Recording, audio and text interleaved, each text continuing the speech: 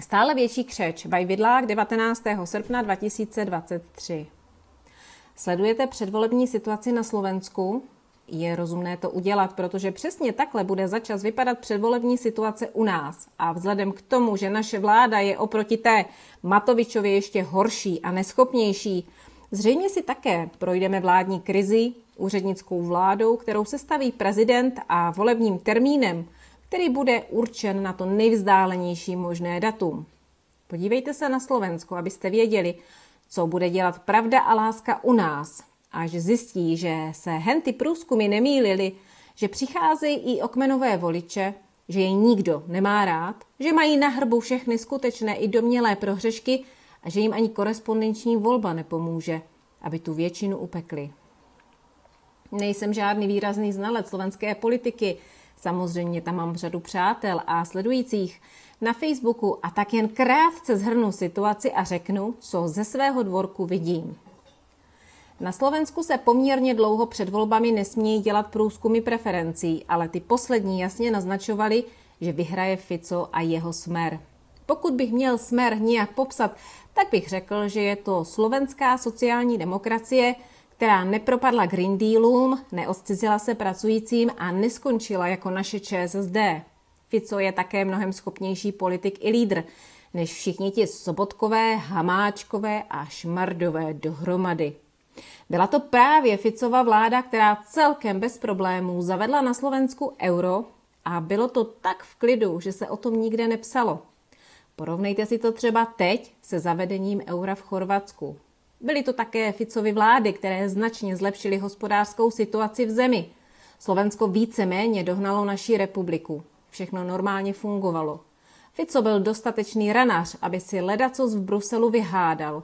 Prostě za jeho premiérování jsme mohli číst nejeden postesk českých ekonomů a podnikatelů, kteří nám tamní situaci dávali za vzor.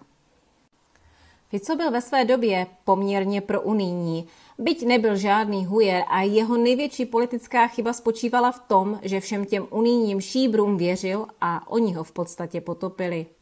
Bylo to dost podobné jako u nás. Libo Démo média se k Ficovi chovala stejně jako česká televize se chovala k Babišovi. Také tam vyzdvihovali ty slušné a hodné kandidáty, na rozdíl od těch mafiánských kandidátů Smeru. Hodně to ovlivnila kauza zastřeleného Kucíka, který možná doopravdy umřel především proto, aby se Fico nestal znovu premiérem, protože údajný objednavatel vraždy jak si od soudu odešel nevinen.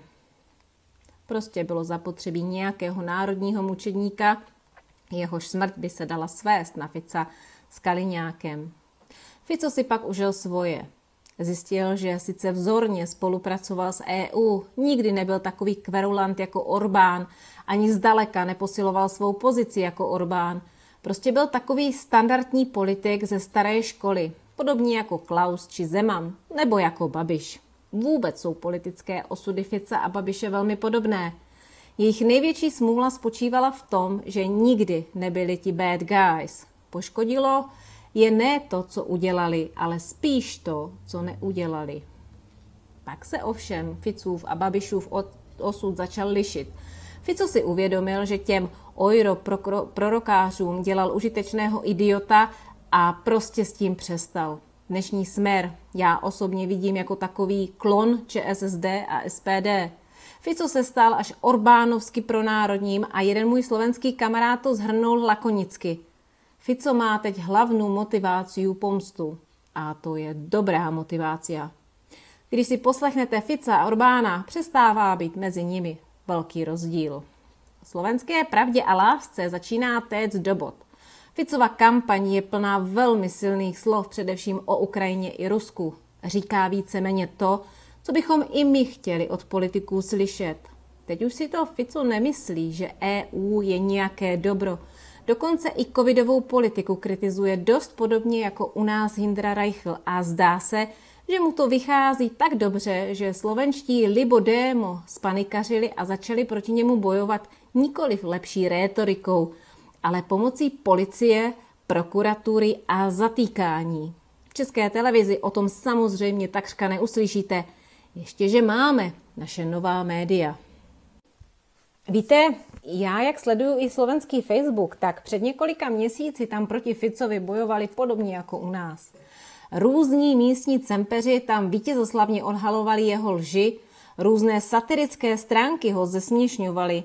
Lidé hojně sdíleli statusy o jeho dávných mafiánských špatnostech. Různě se připomínalo, co kdy udělal špatně, co řekl. Oni tam mají také místní chvilkaře, kteří upozorňují, že Fico je člověk bez vyšších evropských hodnot. Stejně jak u nás. Ostatně je to ze stejného sorosovského manuálu. Jenže už to nefungovalo. Tak dlouho se lidem opakovalo, že Fico je zrůda, až se ukázalo, že lidé si zvykli. Stal se tak běžným. Jeho hříchy byly tolikrát prokydány, že už to nikoho nezvedalo ze židle. Žádný šok, který by byl impulzem pro opětovné zvolení Čaputové. Ficovi preference rostly. Jeho motivace zvítězit a znovu to všem nandat je opravdu, ale opravdu velmi silná. A tak se nám Čaputovci pustili do boje pomoci fízlů. Od té doby, co se kolem Ficových lidí začali motat státní zástupci a zásahové jednotky, tak v podstatě úplně skončila protificovská satira. V zápěti také lidé náhle přestali sdílet statusy o jeho mafiánské minulosti. Najednou se totiž ukázalo, že Čaputová a spol jsou vlastně ještě horší mafiáni než celý Fico. I ti, kteří volili Matoviče a blondýnu z Pezinku, jsou teď z jejich praktik Perlex.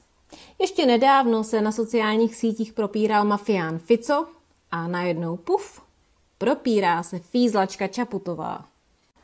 A od té doby má Smer kampaň vlastně zdarma. Stačí jim jen pořádat rozhorlené tiskovky, kde poukazují na zvůli současných libodému a zřejmě to funguje velmi dobře. Můj Facebook se v podstatě úplně přestal vysmívat Ficovi a naopak se zděsil z Čaputové. Víte, jak to říkám? Puste k něčemu liptardy a výsledek se brzy dostaví. Boj proti Ficovi se mění v tu nejlepší kampaň, kterou mu dělají zdarma – já nevím, nakolik byl Fico propojený s mafiány, ale vidím, že se pravda a láska postarala, aby to Slovákům zas tak moc nevadilo. Do voleb se tato situace bude ještě stupňovat, ale nevěřím, že zatýkání bude fungovat. Už ne. Před třemi měsíci bych řekl, že Fico možná vyhraje, ale vyhraje jen trochu, protože byl pro spoustu lidí neskousnutelný. Ale teď to vypadá, že někteří si už zvykli, jiní ho začali mít rádi a další zjistili, co je Čaputová doopravdy zač. Pokud ve volbách Fico výrazně uspěje, stane se příkladem i pro naši politickou scénu. Já vím, že na Slovensku je to trochu jinak, ale v podstatě Fico hlasy tamní alternativy pozbíral. Sází na opačnou taktiku než u nás Babiš. Nesnaží se získat zhrzelé voliče libo démo, naopak. Sbírá hlasy, které z liberály nechtějí mít nic společného. Andrej Babiš dělá přesný opak. To je také další důvod, proč je rozumné celou situaci sledovat. Liberálové v celé Evropě uspěli zhruba ve stejnou dobu a zhruba stejně přivedli svoji agentu Zugrunde. Na začátku byly řeči o zelených údělech a sluníčkové budoucnosti. Končí to válkou za humny, deindustrializací, recesí, pokusy o cenzuru a okleštění svobody projevu. Slovensko je první vlaštovkou budoucnosti. Sledujme ho. Jo, a mezi námi, pokud Fico vyhraje a sestaví vládu, tak nic bych nedal za to, že Čaputová rezignuje.